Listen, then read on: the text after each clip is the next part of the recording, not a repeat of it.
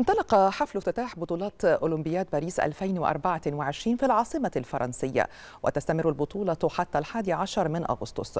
ويشمل الحفل مشاركة 85 قاربا يحملون 7000 رياضي في عرض عائم بطول 6 كيلومترات في نهر السين في قلب باريس. وانطلق الموكب مرورا بكاتدرائية نوتردام إلى أن يصل بالقرب من برج إيفل بعد المرور تحت جسور وبوابات من بينها بون ديزار وبون نوف وبالقرب من العديد من المعالم العاصمة الفرنسية.